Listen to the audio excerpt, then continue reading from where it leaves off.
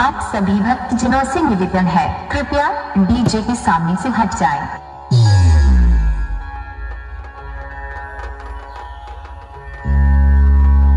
जब सुकून नहीं मिलता दिखावे की बस्ती में अरे पगली तब खो जाता हूँ महादेव की बस्ती